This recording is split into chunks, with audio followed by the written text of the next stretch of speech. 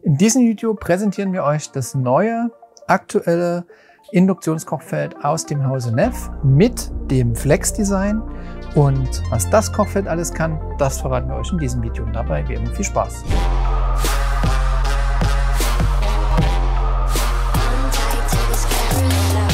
Herzliche Grüße von Gutsmann Küchen, denn Essen gut, alles gut und das kommt von, genau, Küche gut. Und zu einer guten Küche gehört natürlich auch ein gutes Kochfeld. Und heutzutage werden am meisten Induktionskochfelder bestellt und natürlich auch eingebaut. Und wir haben hier für euch jetzt eins der neuen Induktionskochfelder aus dem Hause Neff.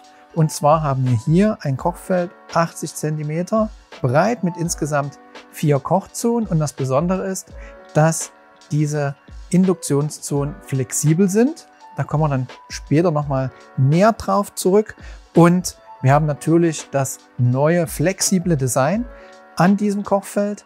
Und wir haben den flexiblen Twistpad und hochinteressant den neuen Bratsensor, den wir euch ja schon letztes Jahr auf der IFA bei Bosch vorgestellt haben, wo ihr die Möglichkeit habt, gerade genau hier eure Temperatur einzustellen für das perfekte Bratergebnis.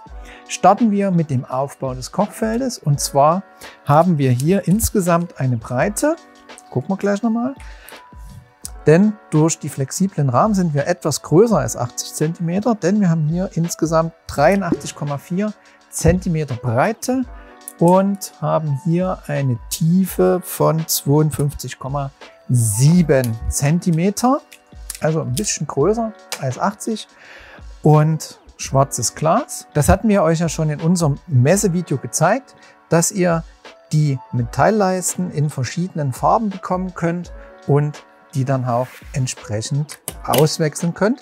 Gleiches gilt für den Twistpad. Den gibt es dann auch immer in der passenden Farbe, im passenden Dekor. Ja, was bietet uns jetzt das Kochfeld rein von der Technik?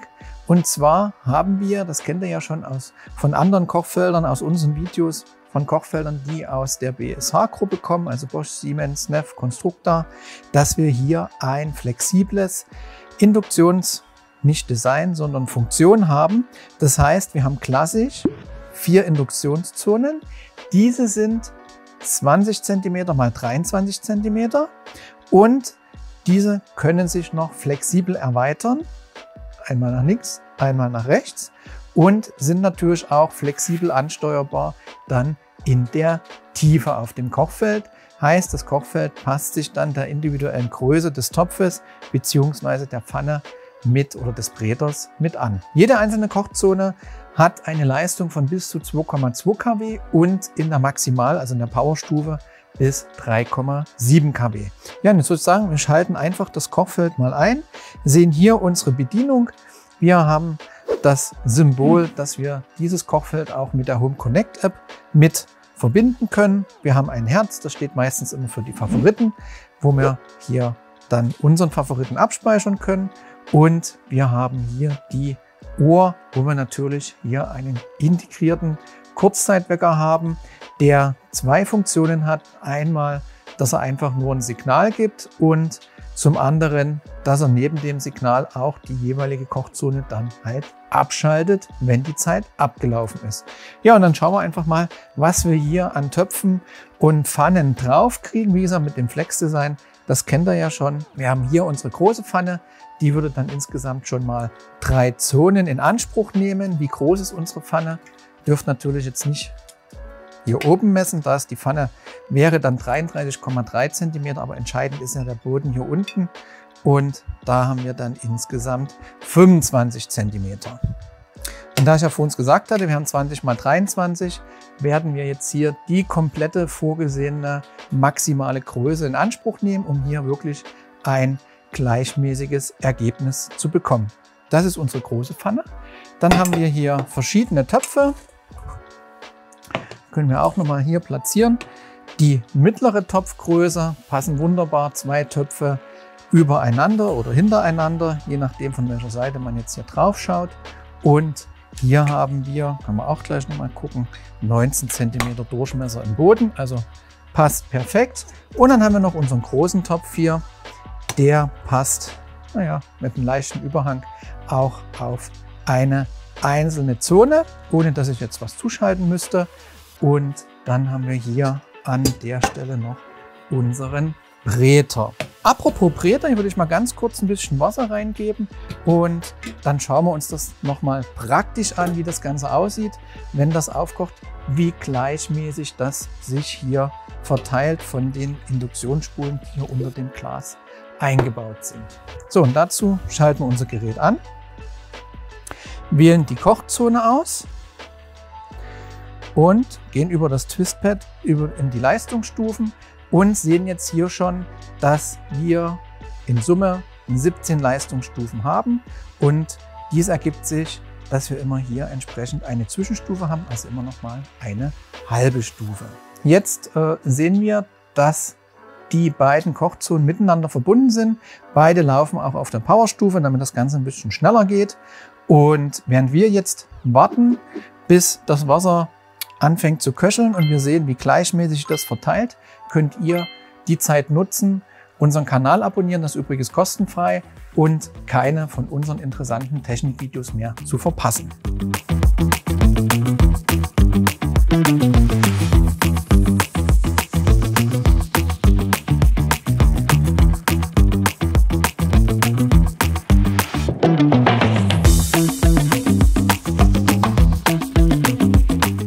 Ja, und jetzt wird deutlich, dass wir hier wirklich ein gleichmäßiges Verhältnis haben von unseren einzelnen Induktionsspulen und somit der Boden halt wirklich gleichmäßig erhitzt wird. Und wenn wir schon einmal hier Wasser erhitzen und die Phrasen haben, darf natürlich das Thema Dunstabzug nicht fehlen. Aktuell bei uns hier in der Ausstellung noch die Bosch Dunstabzugshaube, aber das Ganze gibt's ja auch von Neff und über die Home Connect App können wir das Ganze auch miteinander verbinden.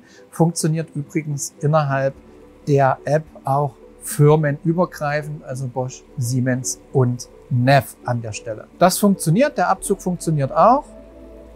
Dann drehen wir einfach wieder runter, lassen das Ganze jetzt runterfahren und widmen uns nochmal dem Bratsensor. Dazu gehen wir vorne auf diese Zone, wo wir äh, unseren Kochtopf haben jetzt, statt, ein Brat, statt eine Bratpfanne. Ähm, aber denk mal, für das Präsentieren reicht das äh, vollkommen aus. Dann aktivieren wir natürlich hier unseren Bratsensor und können jetzt hier über unser Twistpad die Temperatur einstellen. Insgesamt gibt es hier elf Temperaturstufen. Ähm, wir können das Ganze regeln von 70 bis 220 Grad und wer jetzt mathematisch ziemlich fit ist, wird feststellen, wie geht das jetzt mit den elf Temperaturstufen? Da sind wir hier auch schon äh, ein Stück weit an unsere Grenzen gestoßen, bevor wir das Kochfeld da hatten. Und dann schauen wir ganz einfach mal, wie sich das hier verhält. Also die ersten Schritte können wir wählen, äh, beginnend mit 70 Grad, 80 Grad, 90, 100, 110, 120 Grad. Also haben wir hier 10er Schritte und ab 120 Grad geht's in 20er Schritten 140, 160, 180, 200 und 220 Grad. Und die Anzeige, nachdem sie eingestellt ist, zeigt dann halt immer an, in welcher Temperatur wir uns hier aktuell befinden und sehen jetzt, dass schon hochgeheizt wird. Ich habe jetzt hier auf 220 Grad gestellt und unser Kochfeld ist jetzt schon bei 110 Grad, 120 Grad, also geht hier wirklich sehr, sehr schnell. Und wenn ihr euch jetzt fragt, ja, für was kann ich denn diese Temperaturen nutzen? Für was sind diese geeignet? Ja, was kann man jetzt mit 70 Grad machen? 70 Grad nimmt man ganz klassisch zum Schmelzen, zum Beispiel für Butter oder für Schokolade. 110 Grad als Beispiel kann man nehmen für Soßen, also wer, wer gerne mit Soßen arbeitet, da kann man natürlich hier wunderbare Soßen reduzieren. 110, 120 Grad sind dafür perfekt geeignet. Wenn ihr ja, gerne ein Omelett macht, dann hilft euch der Bratsensor, indem ihr den Bratsensor auf 140 Grad einstellt. Und wenn ihr dann panierte Sachen braten wollt oder Fleisch braten wollt, nehmt ihr für panierte Sachen zum Beispiel 180 Grad und halt eben für das schöne Steg anbraten, damit das halt auch richtig schön von der Optik her ist und halt auch gut durchge also nicht durchgebrannt, sollte ja Medium bleiben, aber dass halt wirklich hier richtig gutes Ergebnis rauskommt, können das Ganze halt auf die 220 Grad stellen. Unser köchelnder Topf, unsere Unser Breder habe ich wieder runtergefahren. Äh, Haube kann jetzt auch langsam wieder ihren Dienst einstellen, muss noch ein bisschen nachlaufen. Das ist auch immer ganz, ganz wichtig, wenn ihr eine Dunstabzugshaube habt, dass ihr einfach die Hauben, wenn ihr fertig seid, immer noch mal nachlaufen lässt. Moderne Hauben haben dann auch einen automatischen Nachlauf, beziehungsweise wenn das Kochfeld mit der Haube kombiniert ist, regelt das die Elektronik von selbst. Ja, und wenn ihr jetzt fragt, ja okay, es hat der Robert hier vorn mit dem Bratsensor gearbeitet. Wie ist das mit den anderen Kochzonen? Ganz einfach, Neff macht es uns hier einfach. Jede einzelne Kochzone kann mit dem Bratsensor angesteuert werden. Also habt ihr in dem Fall vier Möglichkeiten, wo ihr mit dem Bratsensor arbeiten könnt. Ja, und wenn jetzt euch unser Video gefallen hat, dann könnt ihr gerne über den Link weitere hilfreiche und inspirierende Videos für eure Küchenplanung finden oder für den Austausch eurer Elektrogeräte. Und unseren Kanal könnt ihr kostenfrei abonnieren über das Gutsmann Küchenlogo. Und dann sehen wir uns in einem der nächsten Videos oder immer mittwochs und sonntags, wenn es heißt Küche gut, alles gut. Ciao, tschüss, euer Robert.